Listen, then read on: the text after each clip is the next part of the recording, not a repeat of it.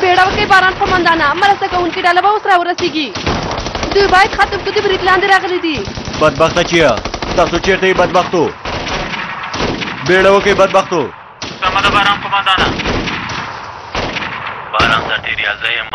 دا هغه ځای دی پیدا که؟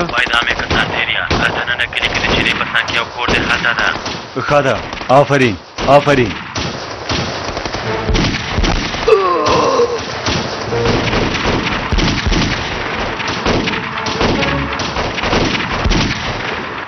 دوی بوخت وساتئ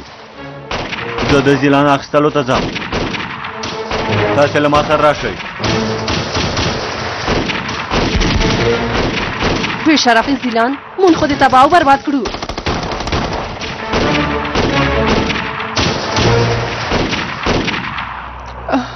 سرداره ما مه پرېږده د سردار نوم اخلي ښکاره ده دا قومندان یو له بل سره مینه لري څه خبره ده یو ځل وګوره چې څوک دي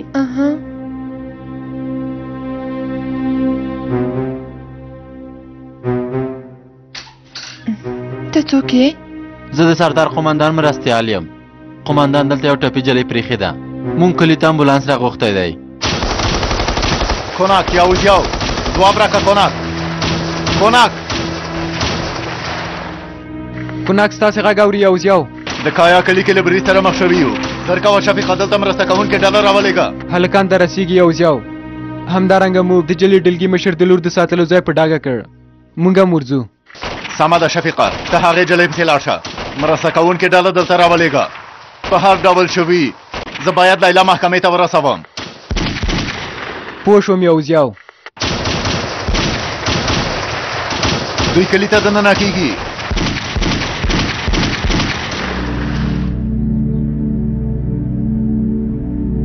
تاسو یوازې یې انجونو په دې کور کې بل څوک نشته بل به څوک وي برید لکه چې ګواښونکی دی تاسو اندېښنه مه کوئ کلي ته یې څوک نشي دننه کېدلی وایه خاینه له دې ځای څخه ووځئ زر کوئ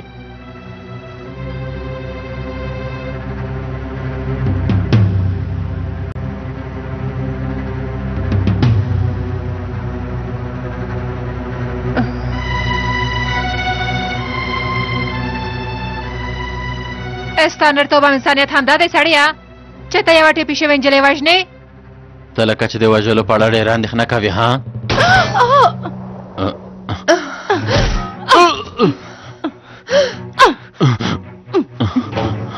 په دې معنی چې تاسو ټول وژل غواړئ ها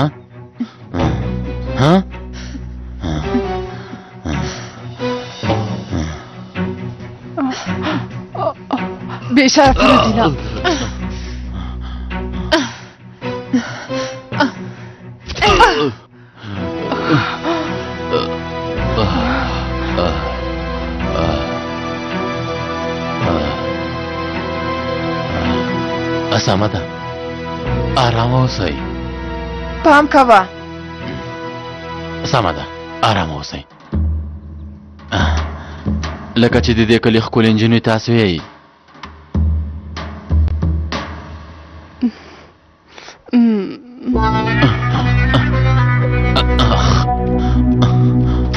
خدای مو ووهه نجونو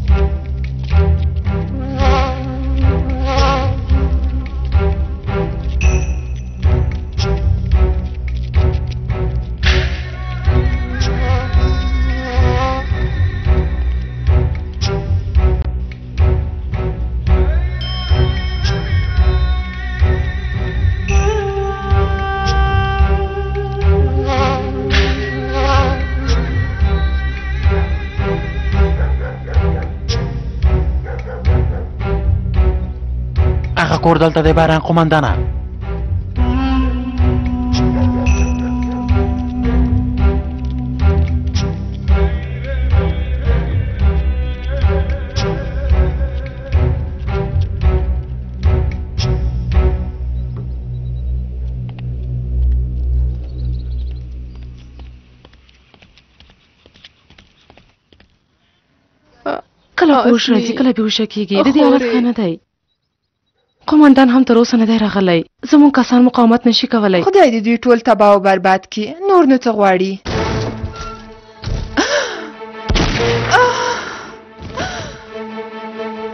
لرې شئ د باندې پیره وکړئ ته همدلته پاتې شه خورجانې خورجانې خدای دې تا وشرموي تاسو له موږ څخه څه غواړئ که ډېرې خبرې دې وکړې نو په دې سر باندې دې ولمه بیا به وګورې چې څه غواړو حالت خراب دی په دې حالت کې عزت نه شي تللی نه شي زغملی هو نه شي زغملی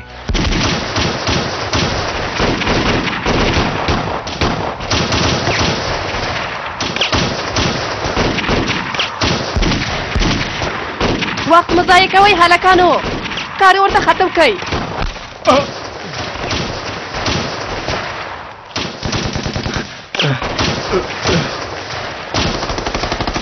یو ځای کې مه پاتې کېږئ نه ښه ونیسئ بیا ډز وکړئ مرسته کوونکې ډله په لاره کې ده زر ښه وئ زمریانو دا ستاسې کلی دی ګیدړان مه پرېږدئ چې دې کلي ته دننه شي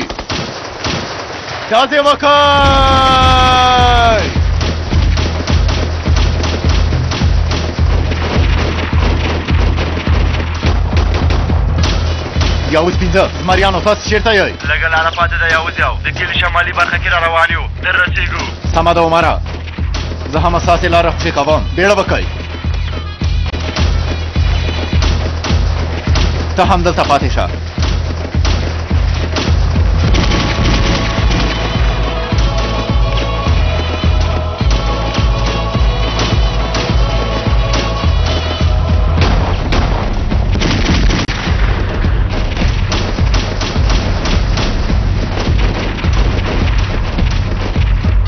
لرې شه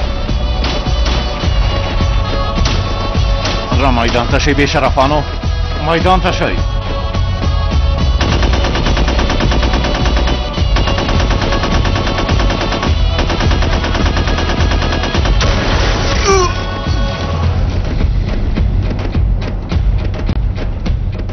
دا د ډلګې مشر جلیل لپاره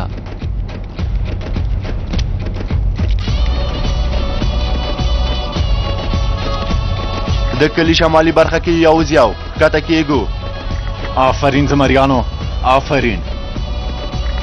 هر ځای له ګیدړانو څخه ډک دی یو سپینځه پام کوئ زه ستاسې مخه خلاصوم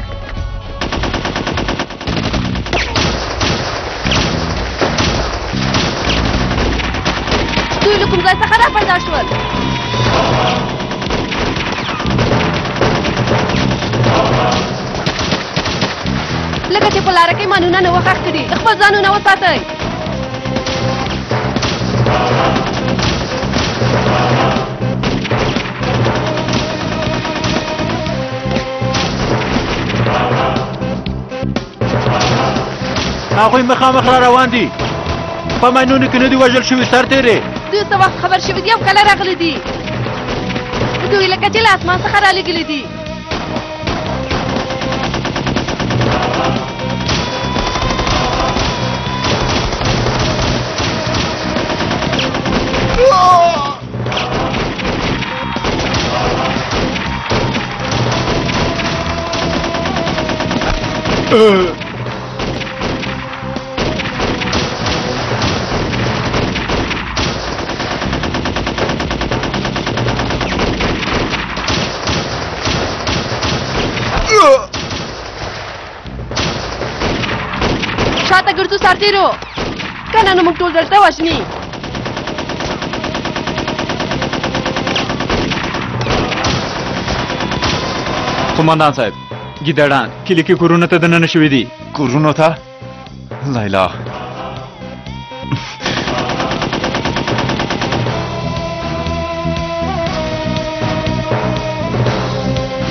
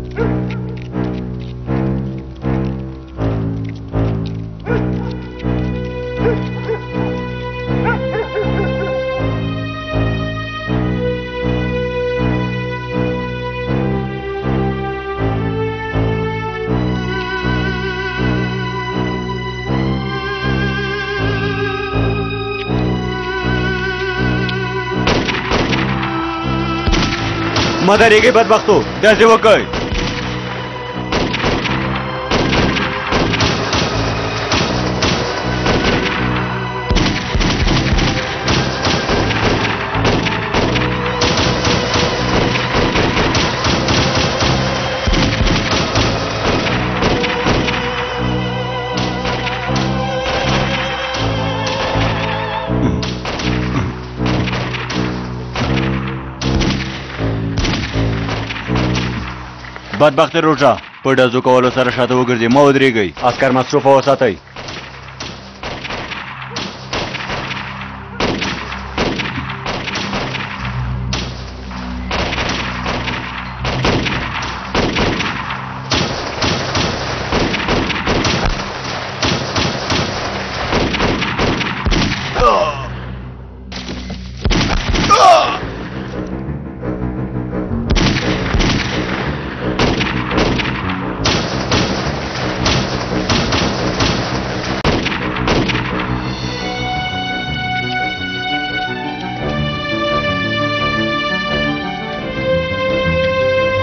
څلور خواو ته محاصره شوی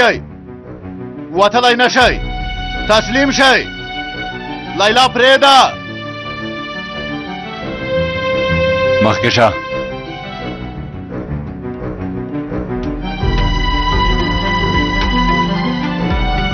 بې ځایه حرکت مه کوه بارانه له دې ځای څخه نه شې وتلی تسلیم شه قوماندانه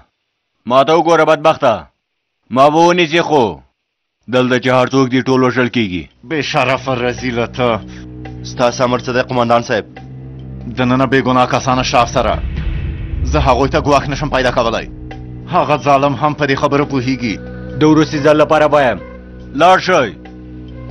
که نه نو دلته به هدیره جوړه کړم دننه شه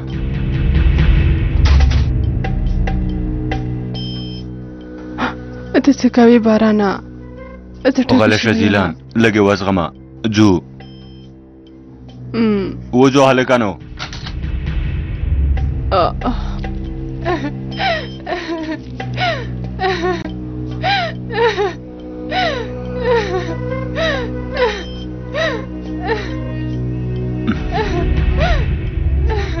هوښیار اوسه قوماندانه که ته نه غواړې چې څوک ووژل شي نو وسله دې ښکته کړه درته مې ویلي وو قوماندانه د زیلان ځای زما په څنګ کې دی ته دې بې ګناو خلکو ته دعا وکړه ګیدړه که نه نو زه پوهېږم چې څه وکړم لرې شئ لاره خوشې کوئ حرکت ونه کوي بدبختو لری شه لری شه قومندانه هیڅوک باید له خپل ځای څخه ونه خوځېږي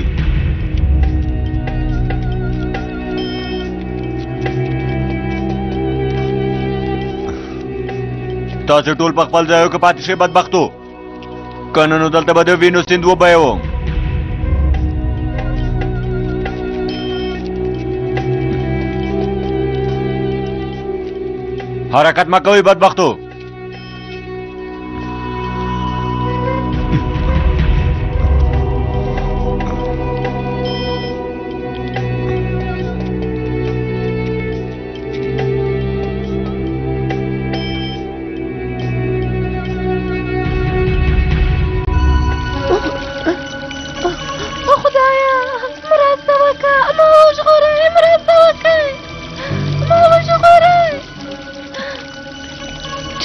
جلۍ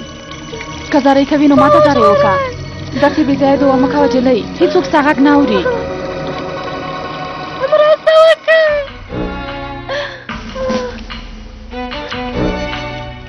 ځای په ډاګه کړی دی ځان په ګیر نه ورکوو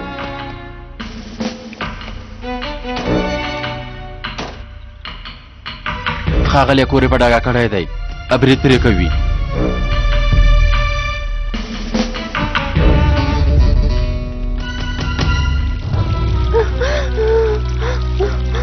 امر وکړئ منډو ځواکونو کور په ډاګه کړی دی مو پاتې کېږئ هغه جلۍ ووژنئ هغه ځای ووځئ دا چې موږ سره لوبه کول څه ته وایي په دې به پوه شي هغه جلۍ ووژنئ امر مو پر ځای کېږي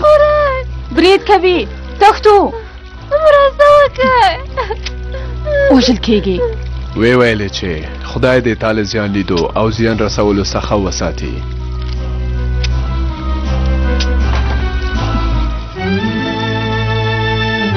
پروت پروت پروت پروت وکړئ خپله وسله وغورځوئ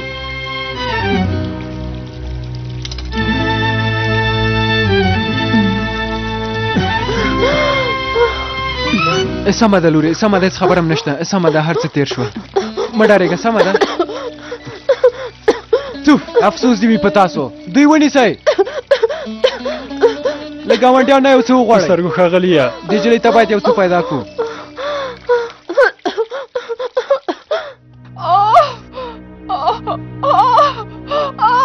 ته څه ته ګورې بدبخته ګولۍ ترې وباسه وې تړه یو څه وکړه ګوره سارتیریا ګوره دا ټاپ نو د جوړې دونه ده د ټاپ ماشين والے پیل کړای دی دا نه جوړیږي دا څه معنا لري چې نه جوړیږي ته ډاکټر نه ته درملنه وکړه کنه ګوره سارتیریا از ډاکټر یم خو دلته د یو روغتون بسې راسان دی نشته اوس نو په پخه کې وینه راټولېږي یعنې د پښو راګونه واګونه باندېږي او پښه یې له منځه ځي پوه شوې یعنې دا پښه باید پرې شي بله چاره نشته اخو که غواړې یوه بله چاره یې هم شته څنګه مې چې دا ګیر پښه ګډه کړه اوس ګډ ګډ ملا راځي هغسې هم کولی شم زه دا پخه په تا باندې جوړوم بدبخته درته مې ویل چې دا پخه جوړه کا ګوره ګوره باران سرتیریا انا زما ډاکټري دې پخې تداوي ته وسنه کوي او نه هم دې ځای ته به سامان آباد څنګه چې ته فکر کوې تداوي دومره اسانه نه ده یعنی دا شونه ده چې دا پخه وژغورل شي خو د دې کار لپاره بشپړو سامانو اولادو ته اړتیا ده یعنې ګوره سرتېری موږ دا کار دلته نشو کولی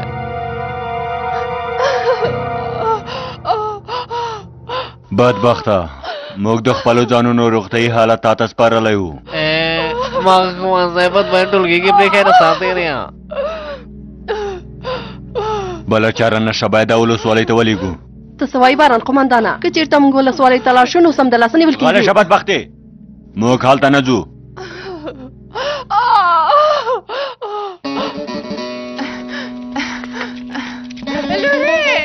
پوه شوم شفیقه زمونږ سترګې دې روښانه شي جلیل به ډېر خوشحاله شي ژاله مې خپل مور ته بوتله یو زیو له دې ځایه راساً د جلي ډلګي مشر څنګ ته ځم قوماندان صاحب اوس نو محکمې ته له هر څه نه د لیلا تګ اړین دی قوماندان صاحب. لیلا باران ګیدړ له ځان سره بوتله شفیقه. دا د جلي ډلګي مشر لپاره ډېر خراب کار وشو قوماندان صاحب. پوهېږم شفیقه. انسان چې له ستونزو سره مخ شي د هغه وړتیا نوره هم ډېرېږي.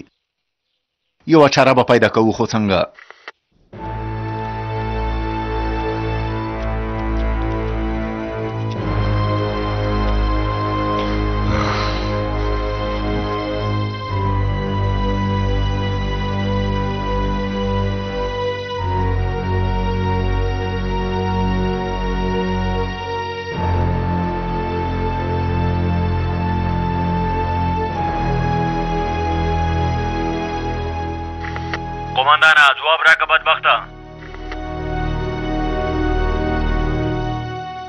ووایا ګیدړه څه غواړې د زیلان پاک له در سره خبرې کوم د زیلان حالات ښه نه دی په ښایې د منځه تلو په حالت کې ده بوس تپې ته ځان راورسوه هغه باید روغتون ته لاړه شي هغه تا ته سپارم که چیرته دا هم یوه لوبه وي نو دا ځل دې همالته خښوم لوبه مو بنه ده قماندانه د زیلان ژوند له ګواښ سره مخ دی که غواړې ته مه راځه یو بل څوک راولېږه ته چې هر ډول فکر کوې ویې که خو یوازې په دې خبره پوه شه زما موخه د زیلان ژغورل دي زما یوازینۍ موخه د زیلان ښه کېدل دي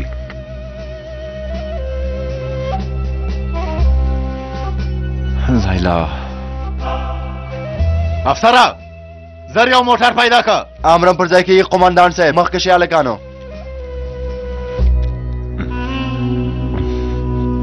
زه زیلان په خپلو لاسو قومندان ته سپارم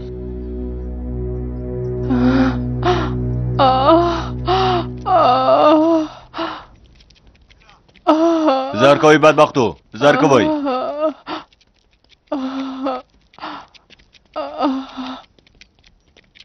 پلار جانا ته پوهه کې ما خپل خدای ته ډېرې دعاګانې وکړې آفرین لورې ګوره دعاوې د قبول شوې راځه لورې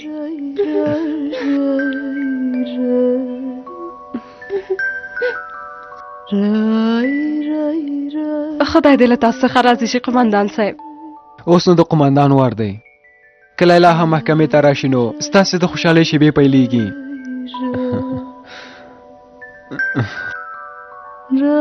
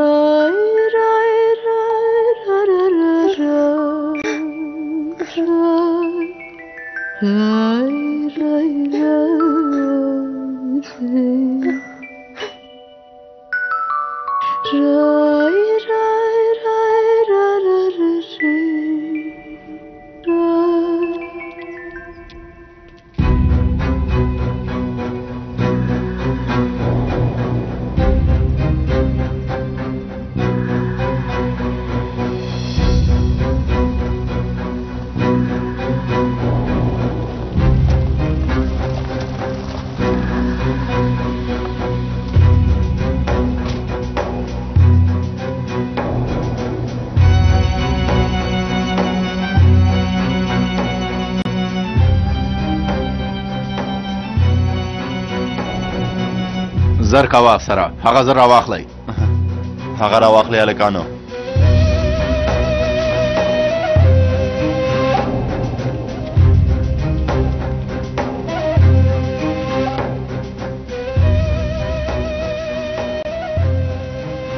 دوی نه نیسو قومندان صاحب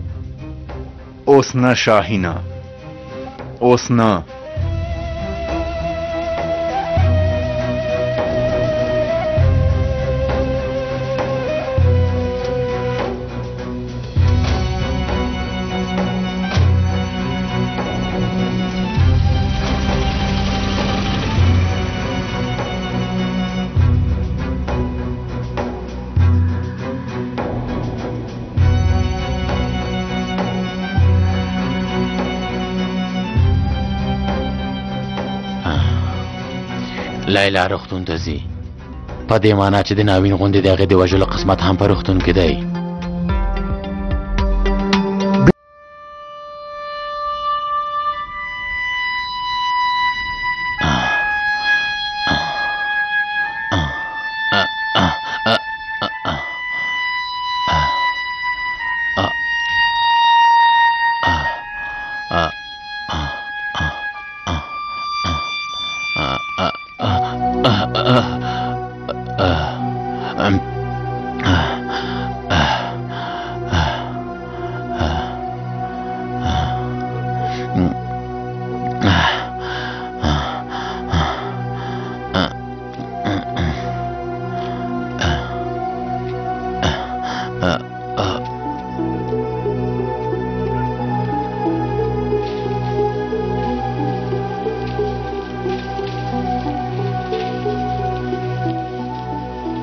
قومندان صاحب څه خبره ده آزاده آزاده څه وشول ورور مې غبرګونکی ورور مې ډېر ګواښونکی دی موږ په هر څه پوهېږو آزاده زما مېرمنه او زما لوري ووژل زه یې همدې حالت ته ورسولم او زما پېژند پاڼه یې واخیسته زر کوئ زر باید عاجلې خونې ته بوځو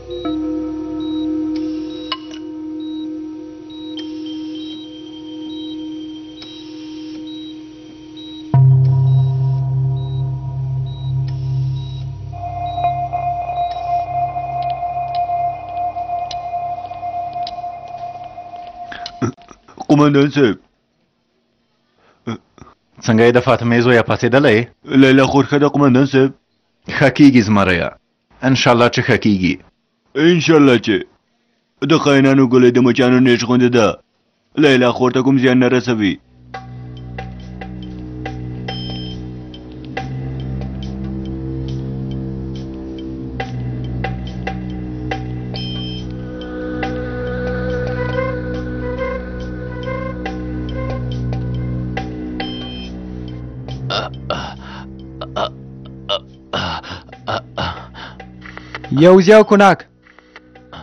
هغه ونیسئ هغه رازیل ونیسئ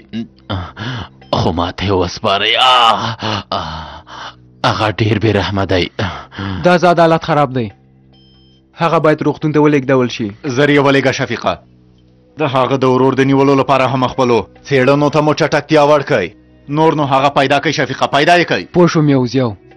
عسکره هغه ازاد نومی سړی اوس دولت ته کار کوي قومندان صاحب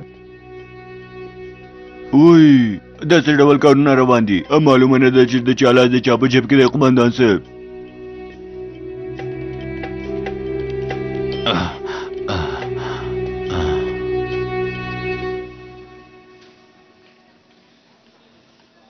اشفا دی وی ژوندی اوسې ډاکټره خدای دې له تا څخه راضي شي آمین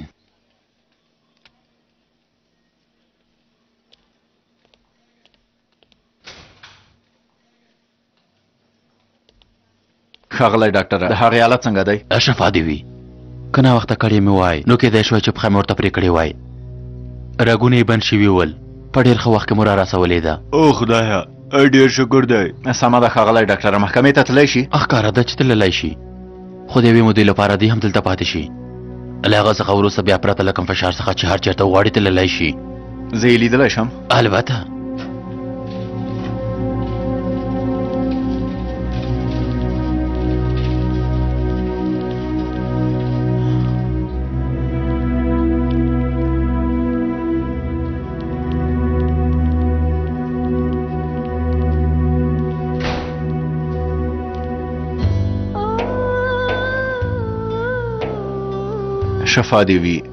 مونږ دې وډار کړو زه هم ډېره وډاره شوم فکر مو وکړ چې خپله پښه به مې له لاسه ورکړم فکر مو وکړ چې زه به تا بیا نشم لیدلی سمه ده نور نو هر څه تېر شول هو قومندانه تل مې د همدې لپاره دعا کوله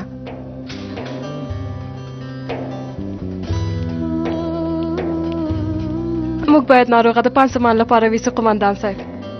زه د جلیل څنګ ته ځم وروسته بیا راځم او تا بیا یم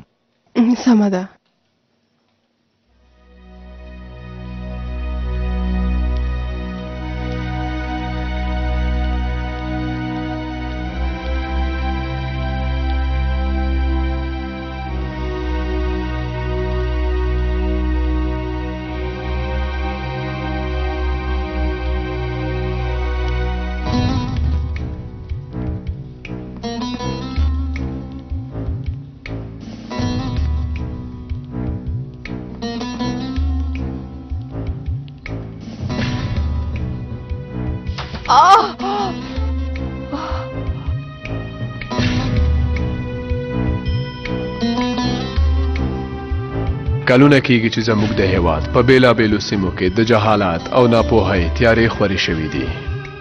او همدارنګه د انسانانو ترمنځ د کرکې او کینې د شتون له امله د جنایات ویره ډېره شوې ده اوس زموږ څلورو خواو ته لوګي او لمبې دي زموږ هیلې او ارمانونه پرله پسې مړاوي کیږي او ژړیږي په دې ډول سره ژوند تیرول ډیر سخت وي له یوې خوا هیله او له بلې خوا ویره ته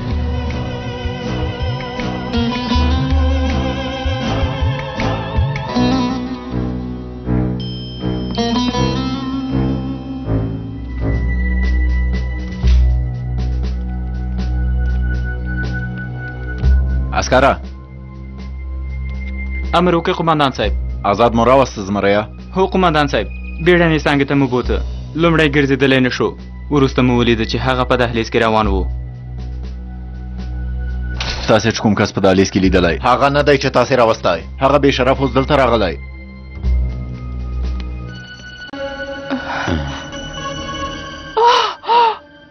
یعنی ته محکمې ته ځې او ډلګی مشر جلیل ژغورې اته څه کوې جلی دا کارونه تا ته ګواښوونکي وي د پښو لاندې به د ساه وباسم ته به پرې خبره هم نه شې خو که ته غواړې زه تا ته څه نه وایم ها قبوله دې ده خدای دې ته ووهي دلته راشه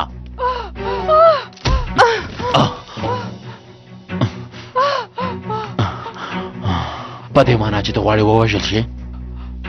سمه ده داسې چې دا نو سمه ده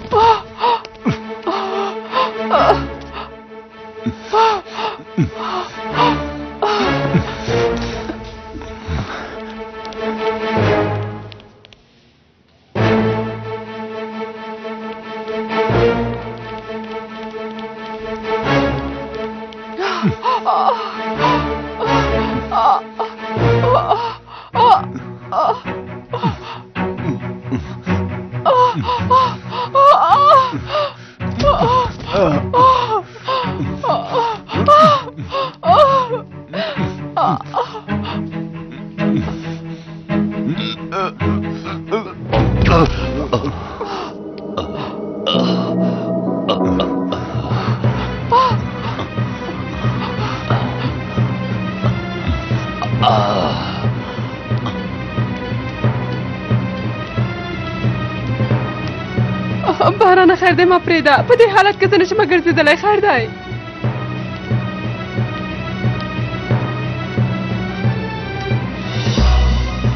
خیر دی ما پرېږده خیر دی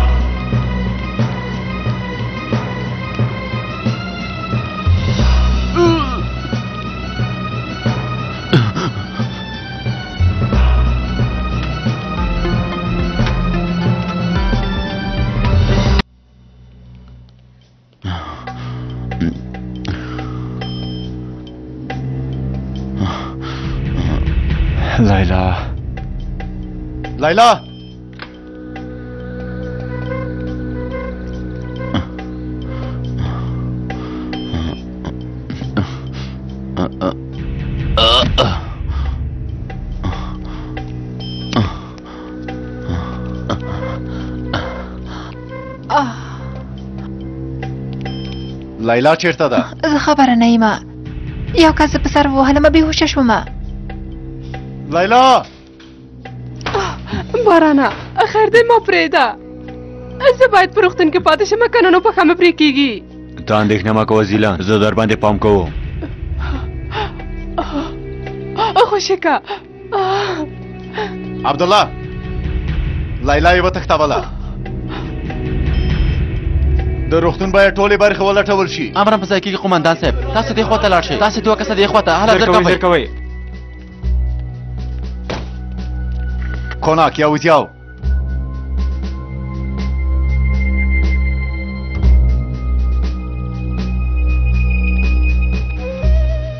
لیلا یې وتښتوله قوماندان ته خبر ورکړه چې له ولسوالۍ څخه د وتلو لارې وتړي او خپل پام ونیسئ پوه شوم یو زیاو څه ته چې اړتیا وي هغه سرته رسوو درنو لیدونکو جلیل کسکین د راتلو په حال کې دی موږ د محکمې پریکړه ته په تمه یو هغه به د دې محکمې سالون ته دننه شي جلیل کسکین د راتلو په حال کې دی موږ د مینې د جنایت پایلې ته په تمه یو هو درنو لیدونکو جلیل کسکین را روان دی درنو لیدونکو هغه همدا اوس را روان دی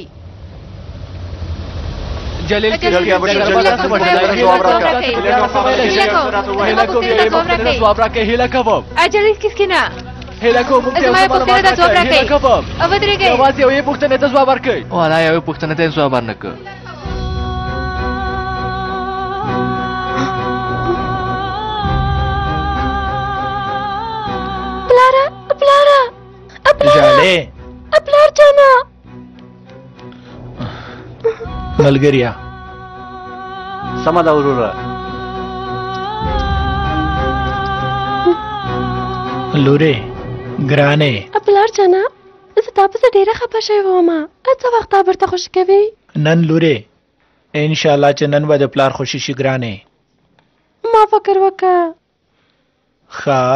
زه نور غواړم چې ته کور ته راشې له مور سره مې په خلا شه پلار جانه جالۍ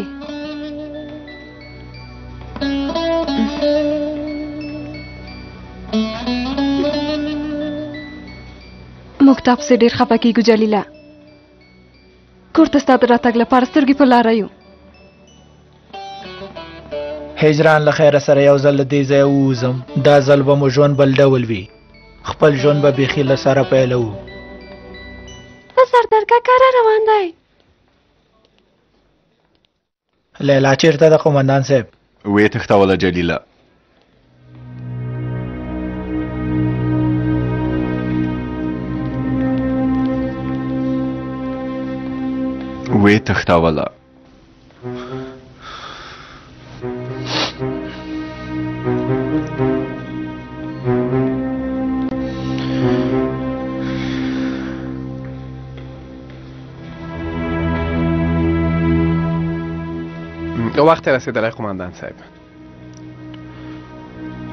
ضروري قاضي صاحب ووایه لورې تاسو زما پلار خوشې کولی شئ زه هغه پسې ډېره خفه شوې یم پلار ور باید کور ته راشي قاضي صاحب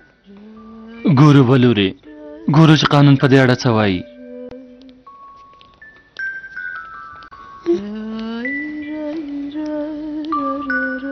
راځه ګرانې موږ به دلته لږ په تمه شو سردار کاکا که هغوی زما پلار بیا زندان ته ولېږي زه باور لرم چې هغوی نه لیږي که چېرته ویې لیږي نو زه هم غواړم چې پلار سره مې لاړه شم چې پلار مې یوازې پاتې نه شي همدارنګه که زه د خپل پلار څنګ کې اوسم نو هغه به لږ وځورېږي د جلیل له لور څخه د همدې کار تمه کېده السلام علیکم وعلیکم السلام وروره مهرباني وکړه دوه کیلو چار مغز راکه ملګریه لکه چې ترخیص دې اخیستی یاست کره او د هغه څخه ډېره مهمه خبره ده له روغتون څخه رخصت شوم اوس زه نشم کولی خپلو ملګرو ته خالي لاس ورشم کبان مې ورته اخیستل خو دلته نه کېږي او که زه د تورې بهیرې څنګ کې وای نو بیا مې کبان ورته اخیستل اوس خو نه کېږي چې هغوی ته کبان ویسم بله دا چې د چارمغز هم خواږه دي د کبانو په کچه ارزښت لري هو همداسې ده وای هغه لیلا خور نه ده لکه چې زه تېروتی یم په دې معنی چې زه باید کبان وخورم تر څو بیخي جوړ شم زه زه ملګری د خدای په امان د خدای په امان ته هم ځان ته پام کوه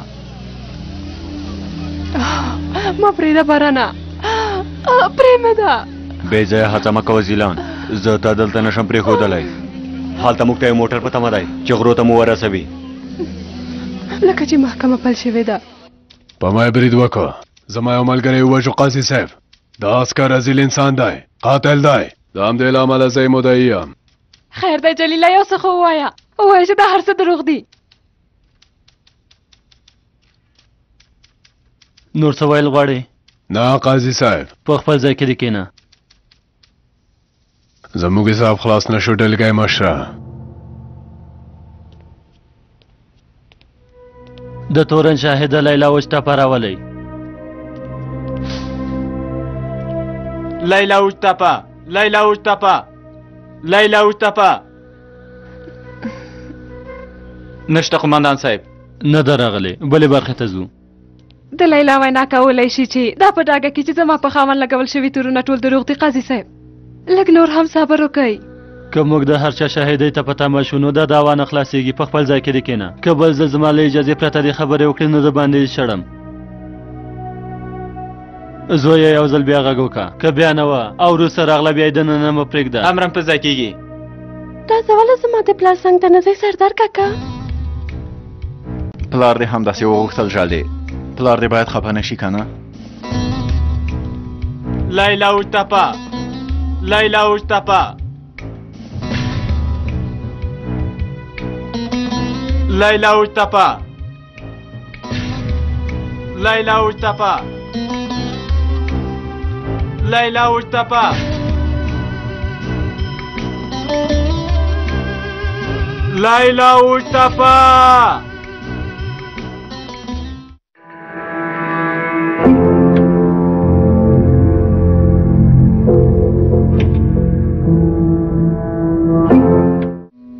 ليلا زر کوه قومندانه یو ځل دا کار خلاص شي دا دروغ دي زه قاتل نه یم قاضي صاحب ما خپل قومندان نه دی وژلی هغوی ما ته درمل راکړي ول قاضي صاحب تاسو څه کوئ بدبختو خوشې مې کوئ خوشې مې کوئ ګوري چې څوک ژوندی